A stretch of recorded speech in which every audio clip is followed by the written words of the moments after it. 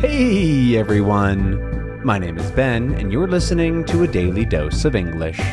This is a short, simple podcast that you can listen to every day to avoid. To avoid? What? Why did I say that word? To improve your English. That was a weird word to come out. A slip of the tongue, um, if you will, uh, where you can improve your English. Uh, the transcripts for all episodes and more are on benslanguagelab.com. I'm glad you could make it today. In this episode, we're talking about Election Day, which is kind of crazy. So, um, Election Day, for those of you who don't know, is the day where the where we vote on in the U.S. where we vote on the a lot of different um, public officials, um, especially the president, which is what is the the most followed, the not necessarily the most important, um, and probably not the most important race presidential race or uh, electoral race, as we call it.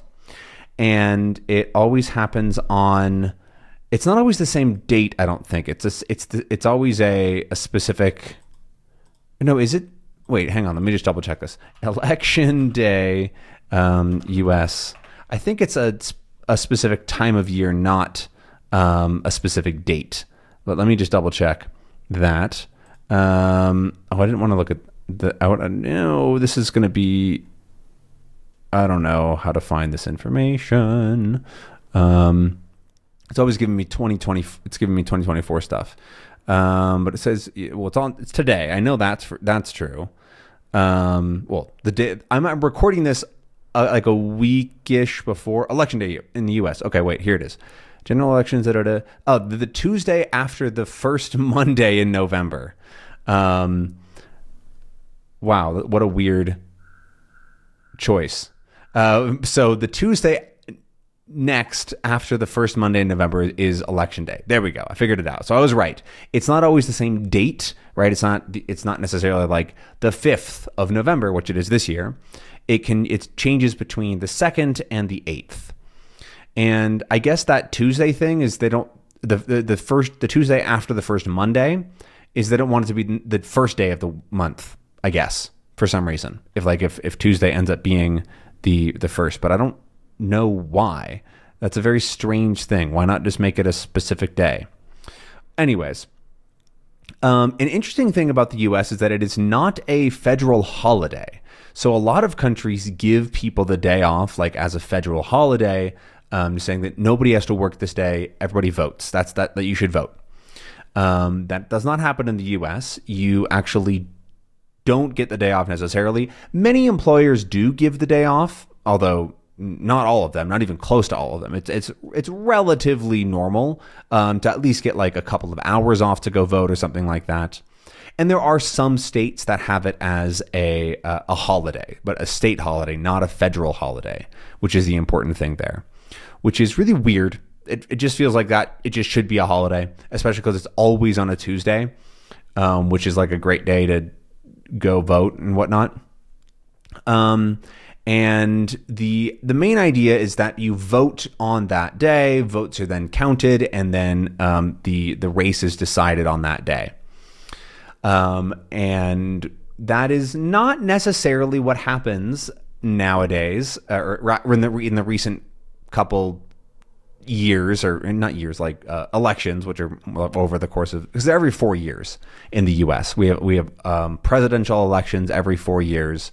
There are other elections for um, local governments or, or other governments in the US so like your congressmen or whatever those can happen more often and whatnot but um, election day is the is the important federal one uh, for the the, the president um, and uh, we talked about the Electoral College a couple of episodes ago, but that's also an, a very important piece of U.S. elections and is playing a huge role in this year's election because uh, what happens is this Electoral College basically means that individual people don't necessarily vote. States vote, and then as a whole, those states' votes get added to a, a total, which uh, which actually matters for the presidential race. And so each state has a different number of votes depending on its population, and so um, and then those votes then go to the the winner. But the thing is, a lot of US states always vote the same. So, for example, I'm from Oregon, and Oregon has voted for the for the Democratic Party basically every single year. It is essentially a guaranteed Democratic vote. Um, this is one of the big problems with the U.S. elections uh, always being between two parties, is that it is very it is pretty much impossible to get eighty percent of the states to ever change their votes. Uh, they always go to one of the two parties, either the Democratic Party or the Republican Party. However, there is a small section of states, a handful of states, um, which are what we call swing states. It's because they do go between the two different parties, um, and the, it depends on the year. And so what happens is that a massive amount of time, energy, and money is spent on on getting votes in those states because they're basically the ones that actually matter. Which is uh, can be very frustrating to people from other states where it's like, okay, uh, you didn't really does you don't aren't you aren't earning my vote necessarily, but you're getting it anyways. Um, which is one of the one of the, there's there's a lot of problems with the U.S. Uh, democracy system. It is not actually as um, democratic of a country as other democratic countries, which is um, not great. Definitely better than many countries that aren't democratic but claim to be. But there are still many problems that can be fixed. And we're probably going to be seeing those uh, on big display this year. So I I haven't um uh well I'm not in the future. So I haven't I don't actually know how the election how is going. But what we've seen for the past basically since Trump started running is this new thing of like election denial and election deniers and people trying to undermine the the election process in the US and causing um, a very small amount of people causing problems. However, we've also seen this going back all the way to 2000 with the race between Al Gore and uh, George Bush. I think that's right. Um, where that was, uh, that was there was a it's it's guaranteed that there was fishy stuff happening and that Al Gore should not have just lost. But he did because there were uh, because if you get a lot of people in certain places in the government, there is not a ton that you can do even if they're just committing fraud. And we are very likely to see similar things happen. There has been throughout the last couple years, there have been um, states trying to reduce voting ability and to add more difficulty into the voting process already claiming that things are are rigged and have problems, and it is almost ex- exclusively coming from the Republican Party. And we also even see them engaging in outright like vote buying, which is the big thing that has, hap- has started happening in the past like week or so when I'm recording this where um, there are like lotteries and raffles and free money to people that sign a petition. Um, the petition is just saying that they support the Constitution, which is it's very clearly a, a way to buy more votes for a specific party that because speci- it's talking about a specific part of the Constitution, the right to bear arms and the right to free speech. Um, and that is the thing that has been sort of the rallying cry for the Republican Party for the last well, long time, quite a while actually. Even though neither of those are really under true attack at all. It's a pr- pretty much fabricated um, issue, but yeah, it's this whole thing. It's going to be very interesting to see. There is um, a lot of people are quite worried about this election, and I think it's with uh, good reason because Trump basically wants to never have elections again, right? He's he's actually said that. He, said that you won't have to vote again. Like after I get after I'm president, you won't have to vote again, which is not how democracy works. You have to vote every we vote every four years on a on a president, and there's a, a limit to it.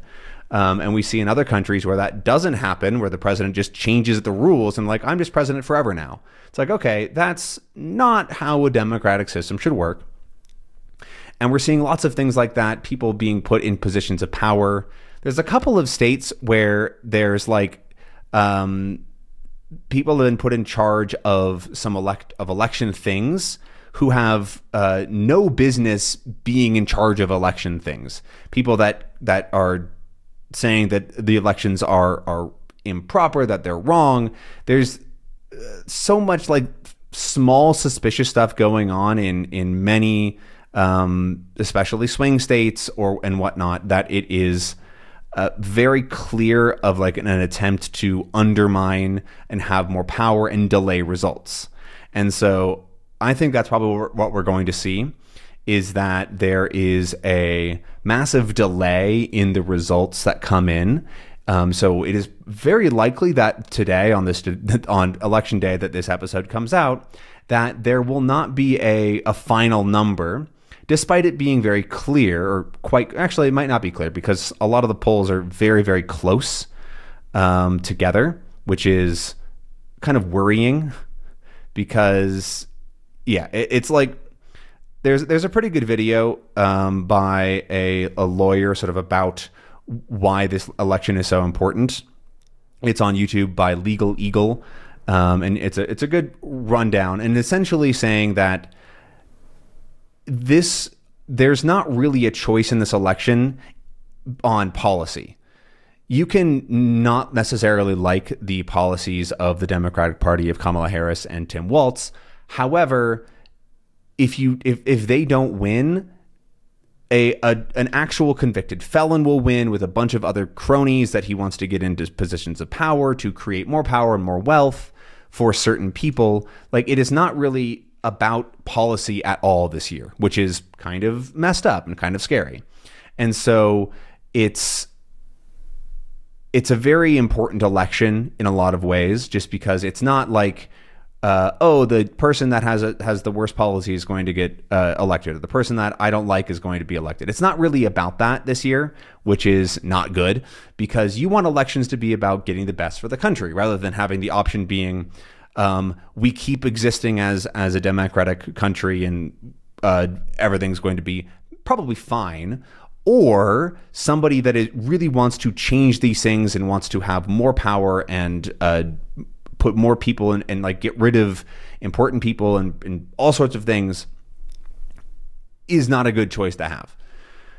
Um, and so yeah, that's what we're looking at. I am I've already kind of given up on the US ever making reasonable progress for what I consider to be good progress, but um, we'll have to see. And I am very hopeful that things don't go horribly wrong um, in the next decade or so in the US because I'm still from there. I'm not to, can't get away from it. My, my family lives there, my parents live there. Um, and so, yeah, we'll see what the hell happens. But, anyways, that's everything that I have for today. I hope that you, I don't know, enjoyed this episode. And if you're in the future, um, I hope that things have gone well. Um, you probably don't care as much because it's you probably aren't American, or else you speak English natively, very likely. So, um, anyways, let me know your thoughts if you're as a as an as a foreigner down in the in the comments below. But that's everything for me today. I hope that you enjoyed, and I will see you again tomorrow for a brand new episode because we're going to keep going regardless of the elections. I'll see you then. Have a good one. Bye.